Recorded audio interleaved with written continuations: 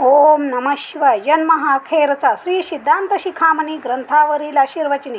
श्री काशी विश्वाराध्य ज्ञान सिंहासनाधीश्वर काव्य सर्व दर्शनतीर्थ वेदांतचार्य विद्यावारिधी विद्यावाचस्पती श्री एक हजार आठ जगद्गुरु डॉक्टर चंद्रशेखर शिवाचार्य महास्वामीजी की जय. जंगमवाडी मठ श्री क्षेत्र काशी.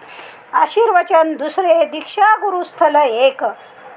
जिज्ञासू सद्भक्तांनो काल आपण ऐकले आहे की अंग नामक जीव गुरुपदेशाने आणि स्वतःच्या साधनाबळावर लिंग होतो. यालाच लिंगांग सामरस्य म्हणतात. जीवात्मा ऐक्यस्थलात पोचला तर त्यापुढे काही शिल्लक उरत नाही. म्हणून हे शास्त्र संपले असे अगस्त्य महर्षींना वाटले.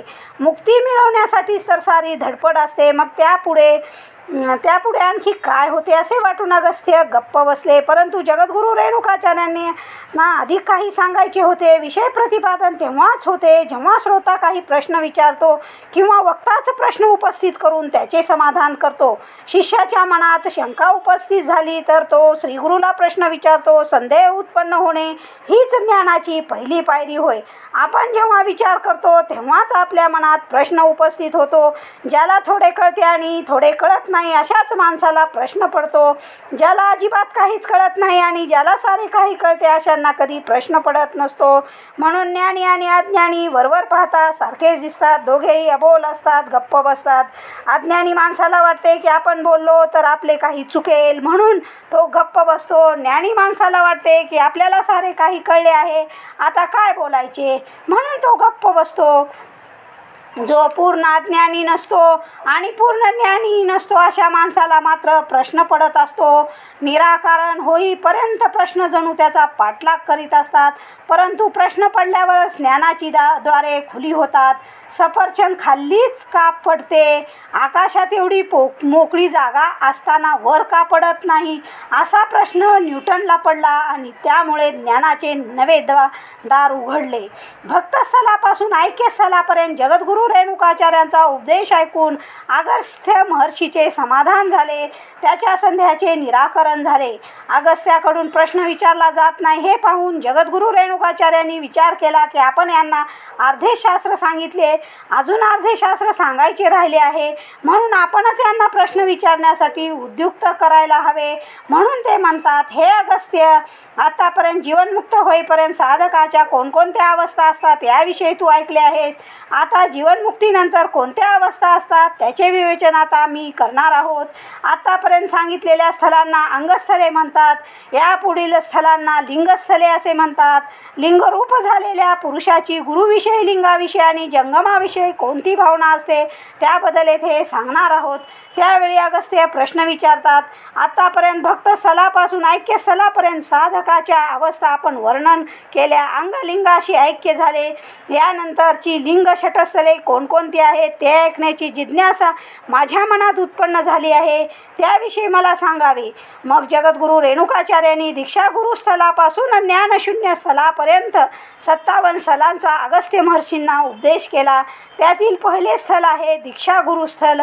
तुम्ही ऐकले आहे की ज्यावर गुरुची कृपा होते त्याला शिवाची प्राप्ती होते. ज्याच्यावर गुरु कृपा करत नाही त्याला शिवाचा लाभ होत नाही. म्हणून गुरुजवळ जाण्याशिवाय गत्यंतर नाही. शिष्य जेव्हा गुरुजवळ जातो तेव्हा गुरु त्याला दीक्षा देतात. म्हणून गुरुला दीक्षा गुरु असे म्हटले जाते.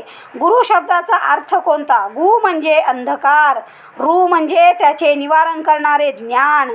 जीवात्म्याच्या हृदयात जो अज्ञान रूपी अंध अंधकार आहे त्याचे आपण उपदेशाने निवारण करण्याचे सामर्थ्य ज्या जवळ असते.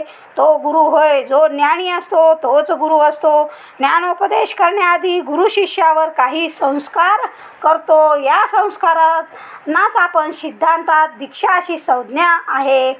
गाई गाई बैल इत्यादी पशूंना आपण दोरीने बांधून ठेवतो. त्यांना हळूहळू त्यांची इतकी सवय होते की रानातून चरून आल्यानंतर देखील ते बांधण्याच्या ठिकाणी निमूटपणे येऊन उभे राहतात. त्याप्रमाणे प्रत्येक जीवात्मा हा पशु असून तो पाशाने बांधलेला आहे. आपल्या सिद्धांताला क्वचित पाशुपत सिद्धांत असेही म्हटले जाते. त्यानुसार भगवान शिव पशुपती असून प्रत्येक जीव हा पशु होय. आपण पशु आहोत हे ऐकून तुम्हाला आश्चर्य वाटेल. असेल. आपल्याला तर दोन पाय आहेत. मग आपण पशु कसे? परंतु शास्त्रात म्हटले आहे की पशु चार पायांचे असतात आणि दोन पायांचेही असतात. मनुष्य हा शेपूट आणि शिंगे नसलेला पशुच होय. आपण दिसतो मनुष्यासारखे पण खरे तर पशुच आहोत. उपनिषेदात एक कथा सांगितली आहे. जेव्हा सृष्टी निर्माण झाली तेव्हा ईश्वराने सर्व प्राण्यांना मृत्यू लोकात पाठवले. भूलोकात येण्यापूर्वी उच्च स्ना स्ना उच्च स्थानावर ईश्वराने दर्शन घेण्यासाठी सर्व प्राणी गेले. त्यावेळी सर्व प्राण्यांना ईश्वराने एकाच प्रकारचा उपदेश केला. तुम्हाला भूक लागेल तेव्हा खा. तहान लागेल तेव्हा पाणी प्या आणि झोप येईल तेव्हा झोपा. याविषयी तुम्ही काही काम करायचे नाही. ते ऐकून सर्व प्राणी खुश झाले. सर्वात शेवटी मनुष्य उभा होता. त्याला वाटले की आपल्यालाही असाच उपदेश मिळेल. मनुष्य समोर आल्यावर ईश्वर म्हणाला तुला यांच्यापेक्षा अधिक काही सांगायचे आहे का? तू थोडा थांब. आतापर्यंत इतर प्राण्यांना मी जे सांगितले तेवढेच तुला करायचे नाही तर त्यापेक्षा अधिक करायचे आहे. भोजन करणे मुलांना जन्म देणे भयभीत होणे आणि झोपणे हे जसे सर्व पशुत आहे तसे मनुष्यात देखील आहे. परंतु तुला फक्त तेवढेच करायचे नाही. इतर पशुपेक्षा तुझ्यात एक गोष्ट जास्त आहे ती म्हणजे ज्ञान. पृथ्वीवर गेल्यानंतर तुला ज्ञानी व्हायचे आहे. तेथे ज्या धर्म संप्रदायात तुझा जन्म होईल त्या संप्रदायातील गुरुजवळ जाऊन दीक्षा घ्यायला हवी. तो सांगेल तसे वागायला हवे. असा ईश्वराने मनुष्याला उपदेश केला. तेव्हा मनुष्याने ईश्वराशी भांडण सुरू केले. तो म्हणाला तुझा माझ्यावर एवढा राग का? माझ्या आधी जेवढे प्राणी गेले त्यांना तू कोणताही उपदेश केला नाहीस. मग मलाच एवढा उपदेश कशाला? ईश्वर म्हणाला हे सारे पशु होते परंतु तू मनुष्य आहेस. मनुष्य म्हणाला मग मलाही पशु का बनवले नाहीस?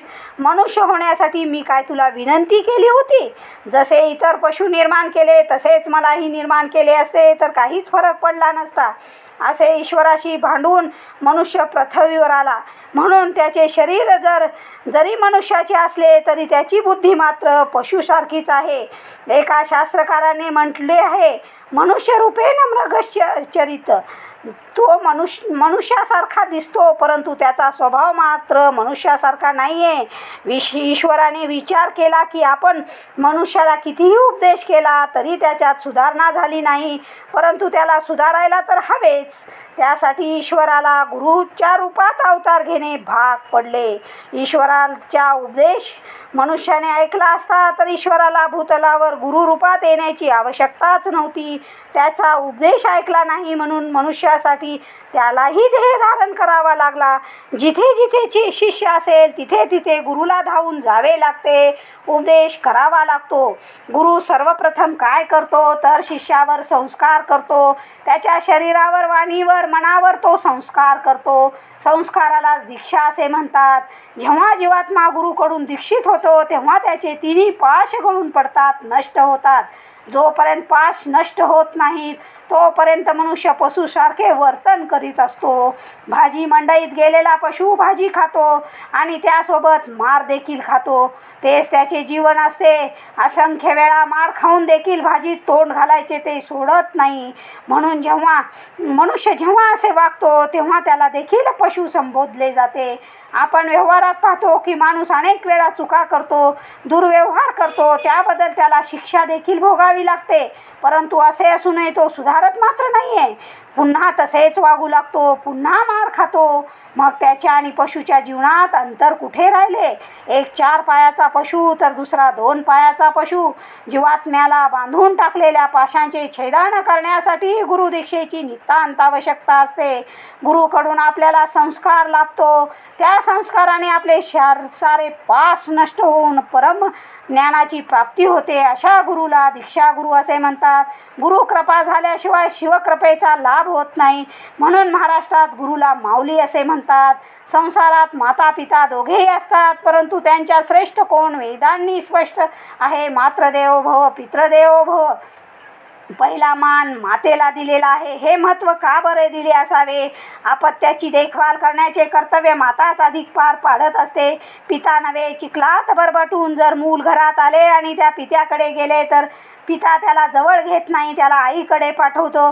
परंतु ते आईजवळ गेले तर आई मात्र त्याला पित्याकडे पाठवत नाही. जर तिने तसे केले तर तिला माता न म्हणता पिता म्हणावे लागेल. आपल्या अंगावरल्या किमती वस्त्रांची पर्वा न करता आई चिखलाने बरबटलेल्या मुलाला जवळ घेते. त्याला न्हाऊ घालते स्वच्छ करते कपडे घालते. मग ते मूल जेव्हा वडिलांकडे जाते तेव्हा तो त्याला जवळ घेतो. ईश्वर हा पित्यासारखा पण गुरु हा मातेसारखा आहे. गुरु कृपेशिवाय जर आपण आपण शिवाकडे गेलो तर तो आपल्याला जवळ घेणार नाही. गुरुकडे पाठवील. आणवमल माईमल आणि कार्मी कमल अशा तीन पाशांनी जीवात्मा बद्ध असतो.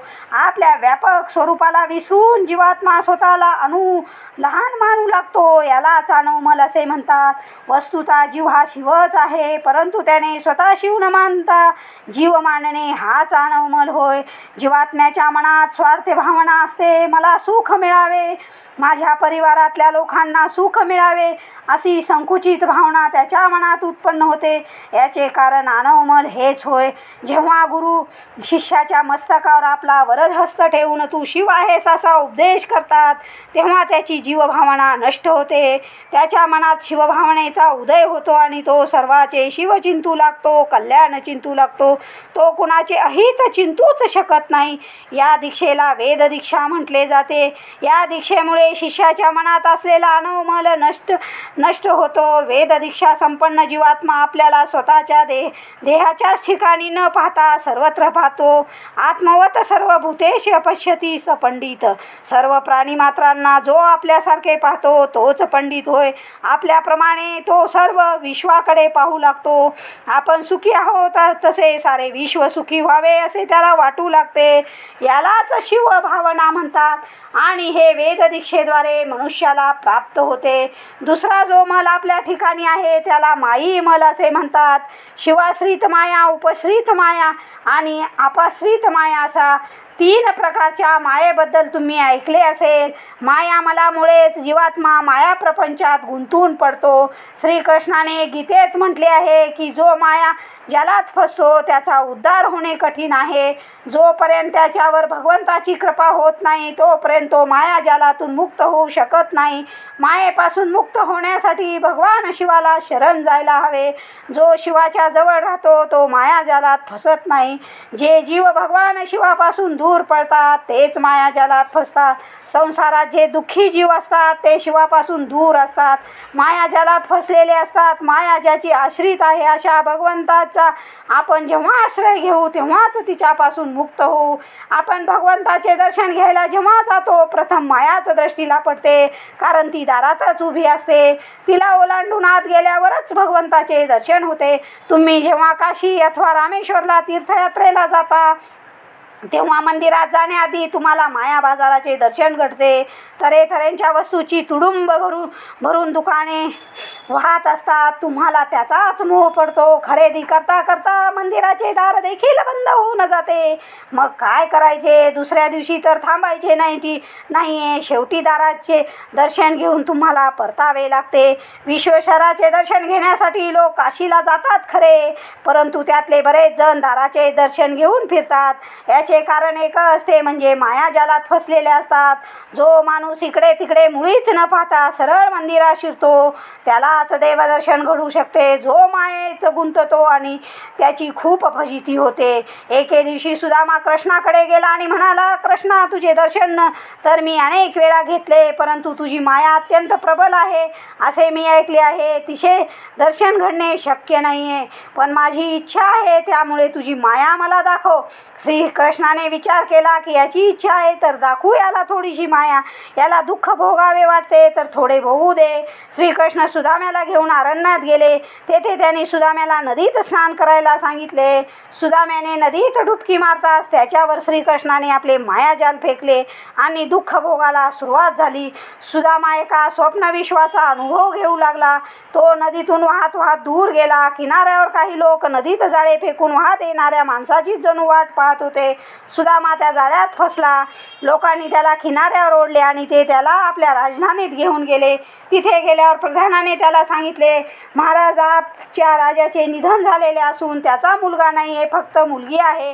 राजा होण्यासाठी इथे भांडण लागले आहे. म्हणून सर्वांनी एकमताने ठरवलं की आज नदीतून जो कोणी पोहत किंवा वाहत येईल त्याला राजा करायचे. त्याप्रमाणे तुम्ही आमच्या हाती लागला आहात. आता आम्ही तुमचा राज्याभिषेक करू. राजकन्येशी तुमचा विवाह करणार आहोत. तुम्ही हे राज्य प पद सांभाळले पाहिजे. त्यानंतर सुदाम्याच्या राज्याभिषेक झाला. त्याचे राजकन्येशी लग्न लावण्यात आले. यथावकाश त्याला संतती झाली. एके दिवशी त्याची पत्नी मरण पावली. त्या राजाच्या प्रथेप्रमाणे त्या ज्याची बायको मरेल त्याला तिच्यासोबत सहगमन करावे लागणार होते. ती वेळ सुदाम्यावर आली. प्रधानाने त्याला विनंती केली की महाराज पतीसोबत पत्नीने सती जाण्याची कथा तुम्ही ऐकली असतील. परंतु आमच्या राज्यात पत्नी मेली की तिच्यासोबत पतीने मरावे असा रिवाज आहे. आम्हाला फार दुःख होते परंतु त्याला इलाज नाही आहे पत्नीच्या चितेवर आपल्याला सहगमन करावेच लागेल. तेव्हा सुदाम्याने विचार केला की या राज्यात येण्याची दुर्बुद्धी आपल्याला झाली कशी? सिंहासनावर बसताना त्याने विचार केला नाही.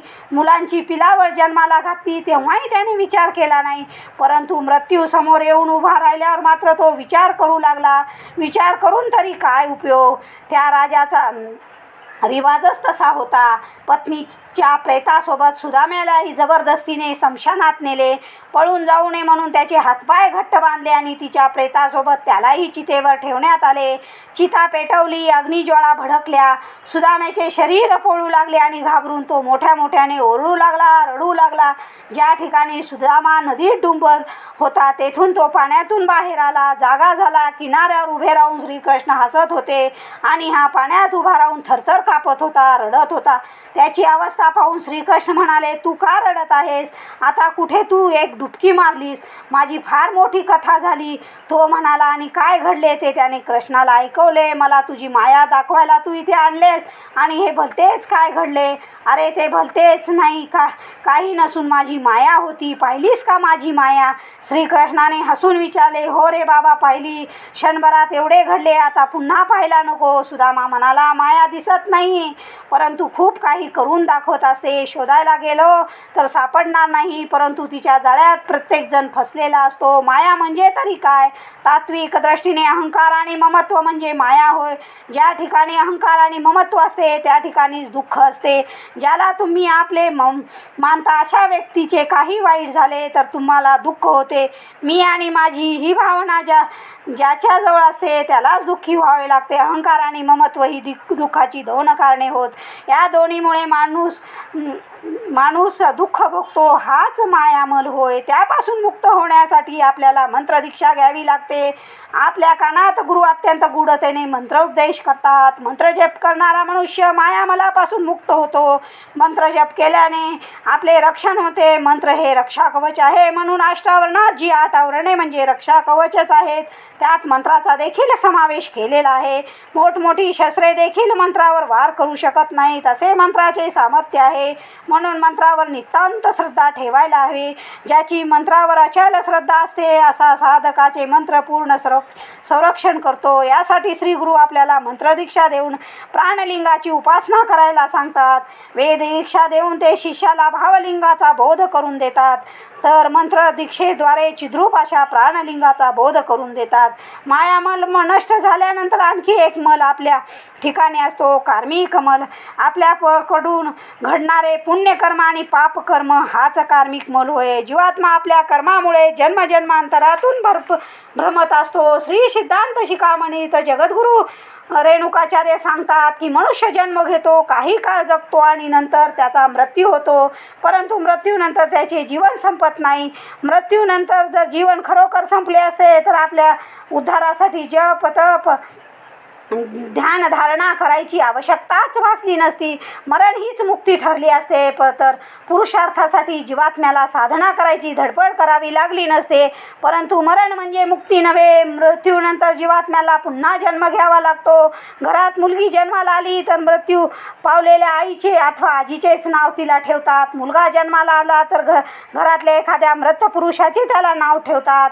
मेलेल्या माणसानेच पुन्हा आपल्या घरात जन्म घेतास घेतला असे म्हटले जाते. असते ज्याची वासना जेथे असते त्याला तेथे पुन्हा यावेच लागते. शुभ अथवा अशुभ कर्मे आपल्या हातून घडल्यावर त्याचे दोन भाग होतात. अशुभ कर्मे केल्यावर त्याचे अशुभ फळ पाप तयार होते आणि दुसरी अशुभ व- वासना तयार होते. शुभ कर्म केल्यावर त्यापासून पुण्य आणि शुभ वासना निर्माण होते.